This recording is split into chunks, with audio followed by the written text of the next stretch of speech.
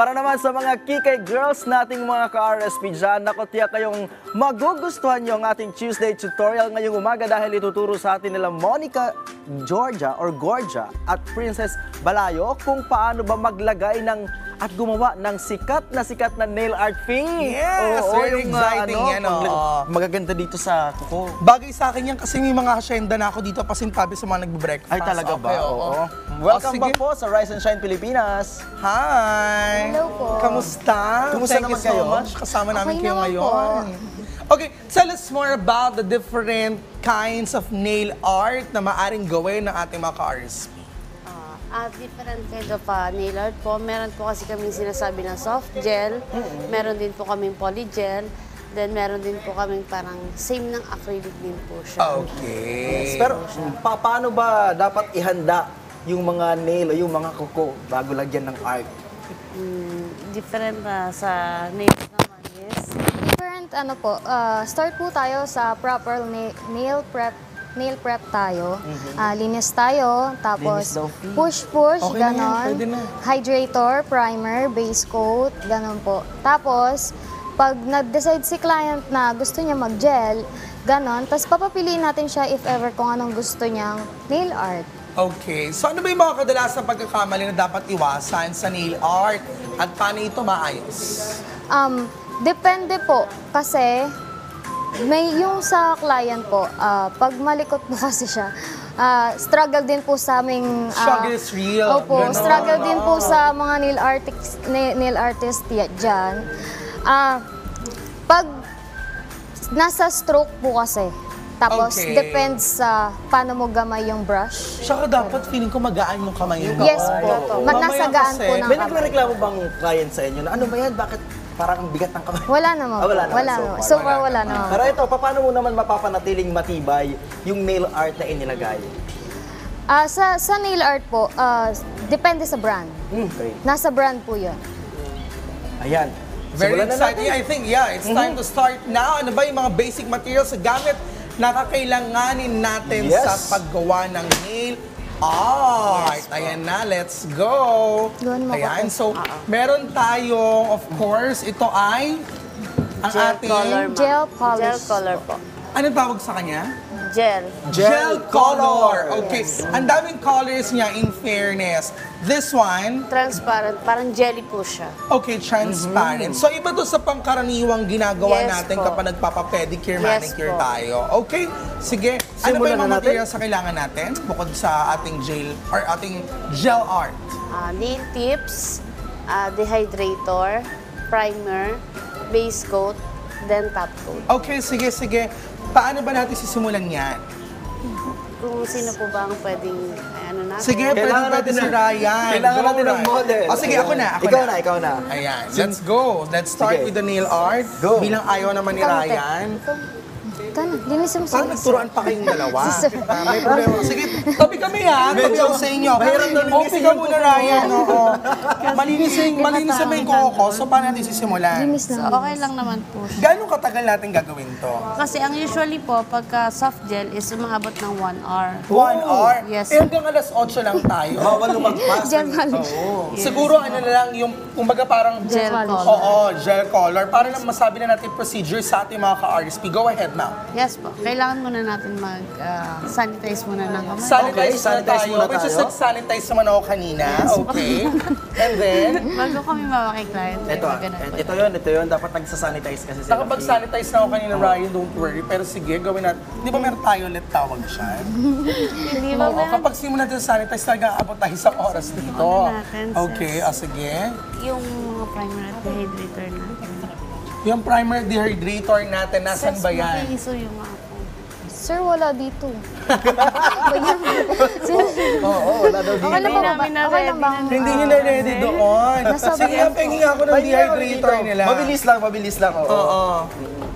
Yes po. Sige nga, kunin Yan. natin yan. Ayan, ito po ating Ayan na yung dehydrator. bubuo sa ating umaga.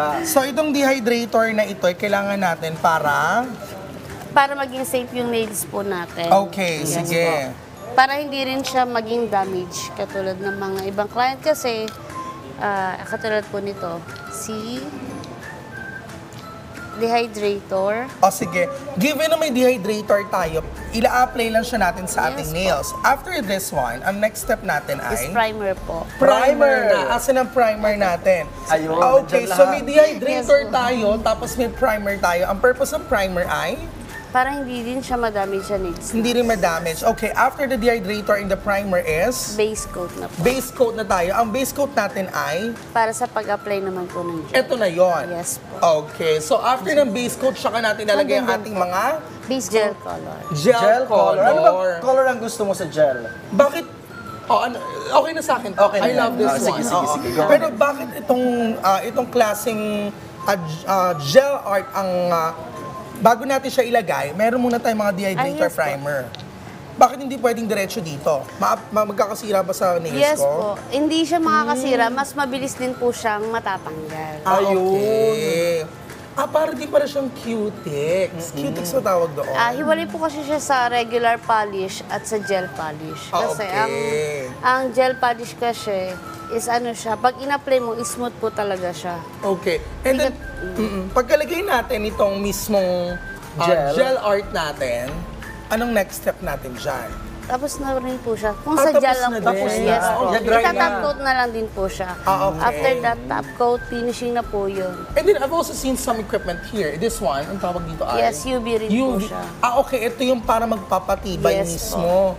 In fairness. O sige, given na nilagay ko na to, yung gel, sige, lagay muna ako ng gel art natin. Given na nasanitize mo ako kanina. Okay po. Sige, sige. Lagyan ko muna ng dehydrator din po. Okay. Kailan wala naman kasi yung balak pagtagalan to? Yes po. Oo. So matatanggal ko rin siya kagad? Yes po. May removal naman po kami dito. Ah, okay. Mamaya agad, P.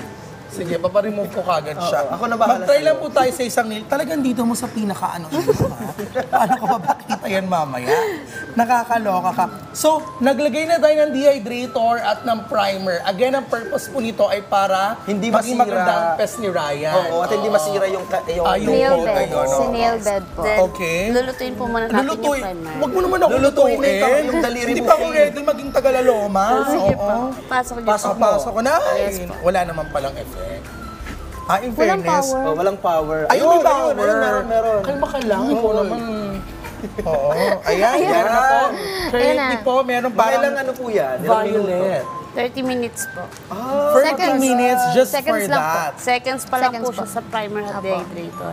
Pero pag nag-apply na po tayo ng gel is 60 po. 60-60. Dalawang Bali. 60 po. 60 Bali, one seconds. Yes po. Okay. So, tig one minute.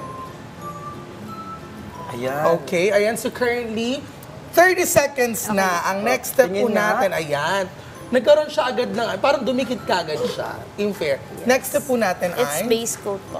okay, base coat tayo. After ng base coat, 60 seconds. Tapos nail art na. Yes po. Ayan. Okay, Ayan. sige. Oo. Ilagay na natin siya yung base coat natin para mas maging matibay yung paglagay ng ating gel art. So, ngayon, okay, 60 seconds tayo. Given na nag-60 seconds na tayo, ayan, pwede bang, alam mo, pwedeng ano to eh, pwede ikaw mismo gumawa. Gumawa. Oo, kung alam mo yung kung paano yung pagkakasunod-sunod. Oo, in fairness sa kanya. So, dehydrator, next natin ay primer. Primer. Base coat, yung mismo nail art mo. Tapos ito na, Ah, gel art mo gel pala. art. Oo. Oo. Tapos, yan, ida-dry mo na. Minsan pwede rin siya gawing ano, dito. Ano tawag dito? Pag ano? Sa kilay. Oo, sa kilay. Para kilay on flick with UV ray. Kasi kilay is live. Yes, samahan mo ng BIR 1902. Ayun. Ayan. Okay, 60 seconds. Next ay lagyan na natin siya ng Gel color. gel. Okay, ayan. So ngayon nilagyan na po ng gel yan. Ayan Bakit yung pink ang pinaka-last. color ko? Kasi idol ko si Majin Buu. Oo, ganun ba yun? Nasa Dragon Ball Z, ang idol ko ay si Majin Buu. Dede- Si Clirin yung sa akin. Sino ba idol mo sa Dragon Ball Z? Si Clirin. Si Clirin. Ikaw ate, sino idol mo sa Dragon Ball Z? Ano eh. San Goku. Hindi ka nanonood? Hindi ko, opo eh. Di- Nakalimutan mo na. Mm, ayaw mo na, pinaka-idol mo na sa lahat, sino? Mama mo. diba? Yun talaga ang pinaka-favorite mo sa lahat. Sige, papasok. Okay, another 60 seconds. Ilalagay natin siya dito sa ating rice cooker. Oven yan, oven. Ah, oven ba? Hindi, UV ray machine. Para mabilis siya mag-dry. Yes. Yes. Ay, kailan ayoko maging dry. Kaya nga I like rainy season. eh. Huwag lang bumaha talaga. Ayan, oo, may bago na naman tayong natutunan this Tuesday tutorials. Kaya naman, thank you so much, Monica, Georgia, and... Princess Bakit naging prin- ah, Balayo. Princess Balayo. Thank Ayan. you ha, kasama namin kayo ngayon. Oh,